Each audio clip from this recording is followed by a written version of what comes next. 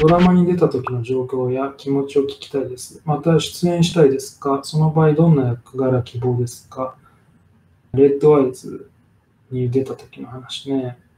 は、まあオファー来て、で、亀梨くんが主演だって聞いて、マジかびっくりして。で、最初第1話目の、うん出るっつって聞いて、これも話したかもしれないけど、えー台本を送るので、台本送るので住所教えてくださいっつって言われて、で、まあ住所送って、でとりあえずあの台本送るんですけど、取り急ぎそのデータで PDF でも送るので、目通しておいてくださいみたいなノリで送られてきて、でそうすると、俺に当てられたセリフって、その、まあ、あの、いろいろあって俺はその役じゃなくて、別の回に出たんで、その回は代わりに和入道になったんですけど、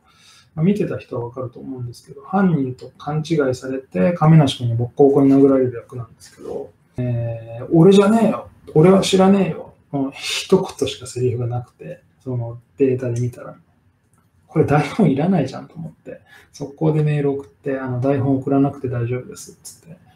言ったんですけど、結局そのロケ日が流れて、で、その当初してた日じゃなくなっちゃって、でそこは俺もライブ入ってたから、っと申し訳ないですけど、あの、無理ですって断って、で、じゃあ別の回で、別の役でっていう形で、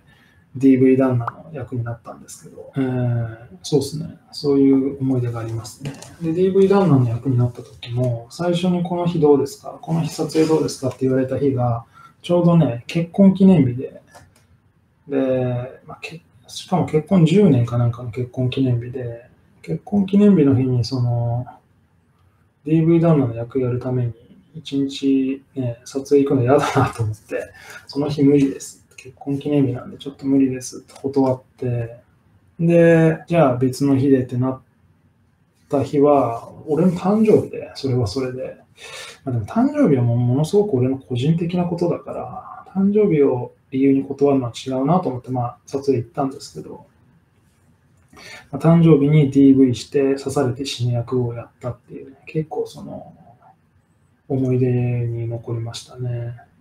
で、ちょうどその、まあ、メイク、まあ、軽くメイクをしてもらったんですけど、その時に今日実は僕誕生日なんですよね、みたいに言ってたら、その俺とこう日程とかずっとこうメールでやり取りしてたそのスタッフの人が、え、私の誕生日なんです、みたいな。偶然ね、同じ誕生日でっていう思い出がありましたね。で、その人もその人でね、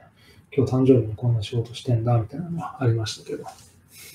まあもう40万になった人の誕生日なんて別に何のめでたさもないんで、まあどうでもいいんですけど。えーまた出演したいですか？その場合どんな役から希望ですか？そうね、ドラマはその前回になんて別にほぼ演技っていう演技はしてないんで、